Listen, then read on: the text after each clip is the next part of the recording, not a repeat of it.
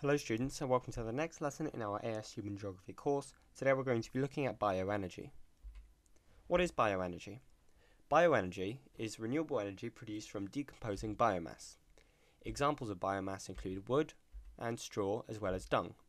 You can also use plants for biomass to um, consume them and burn them. You can produce bioenergy in two main ways. The first of which is by burning them. The biomass is simply burned in order to give off energy. When burned, the biomass gives off heat, and we can use that heat as energy.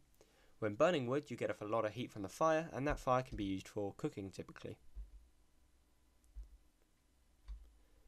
Another method we can use to generate electricity from decomposing biomass is in a landfill site.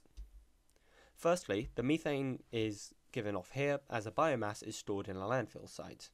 As it decays, it does then produce methane, which leads us to the second step. The methane travels through pipes and collects in a furnace, which is step 3. As it collects in the furnace, the methane is burned, and then, after the methane is burned, a vapour is given off which travels to a turbine. That turbine is then turned, and as it does, the turbine is then connected to another generator which produces electricity.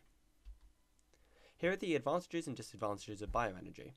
Advantages includes that it reduces the dependency on a single fuel source and it doesn't give off that many polluting gases. It does give off methane, but it doesn't give off as much carbon dioxide and carbon monoxide as other gases um, are given off by these harmful resources, such as that of coal and oil.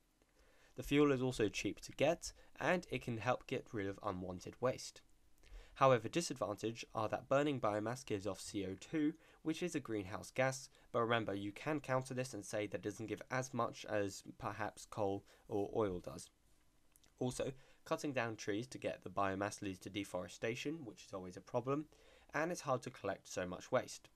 Also, it won't work for long term production as this doesn't really generate enough energy to power an industry. Here are some questions on bioenergy. Have a go at answering these on another sheet of paper by pausing the video and hit play for whenever you're ready to see the answers. Here are the answers. If you got these right, be sure to write these down and check them. And if you didn't, go over and just have another go to make sure that when you do go into the exam, you're fully prepared. Next lesson, we're going to be looking at tidal energy. And until then, I'll see you next time. Goodbye.